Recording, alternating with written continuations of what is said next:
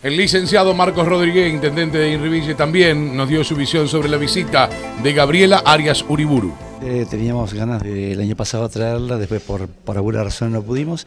Y yo te diría que es el inicio de un ciclo de, charlas que vamos a tratar de llevar a lo largo del año.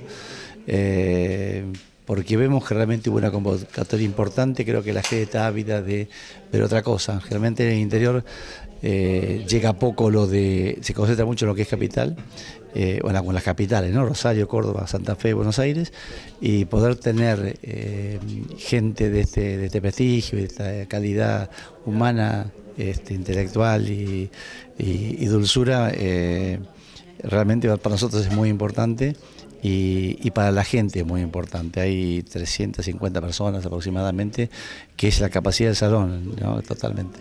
Muchas veces en su discurso valoró y destacó el vínculo, la familia, eh, se hace hincapié para, para, ese cambio cultural que necesitamos restablecer esos vínculos familiares, me parece que, Gabriela lo ha dejado muy claro.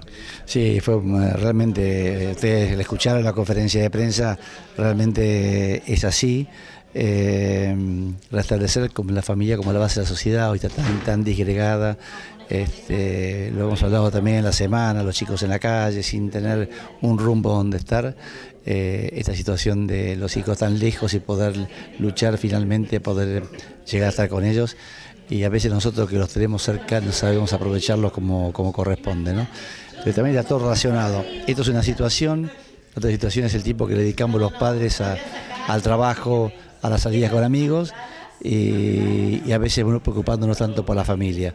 Y eso tarde o temprano termina repercutiendo en el seno familiar, en el seno de la sociedad. Así que esto es, me parece que a mí es el puntapié inicial de un ciclo que, si Dios mediante, vamos a tener a lo largo de todo el 2013. En lo personal, una enorme satisfacción. Estuvimos hablando con parte de la organización. Eh, las tarjetas, los tickets fueron repartidos prácticamente todo en el orden local, más allá de algunas empresas eh, y algunos llegados de localidades vecinas como Monteguay. Eh, la gente de Inriville se interesó. Sí, me, parece que vamos a tener problemas para, con la entrada porque hay, hay más gente que vino pensando en que como era gratis no necesitaba entrada, le vamos a dar este, por supuesto preferencia a los que la tienen porque para eso la retiraron, pero pues te digo, me parece que moviliza a toda, a toda la región eh, este tipo de cosas realmente que nos hacen falta para, para enriquecer y endulzar el corazón y el alma.